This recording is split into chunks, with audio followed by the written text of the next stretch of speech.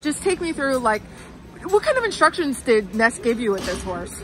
Uh, Ness just said, you know, be aggressive early, put him in a good position, and uh, go from there. So as the race was kind of unfolding, you were always in a good spot. Um, did you feel like you had a lot of horse to keep going? Yeah, you know, he was very quiet in the gate.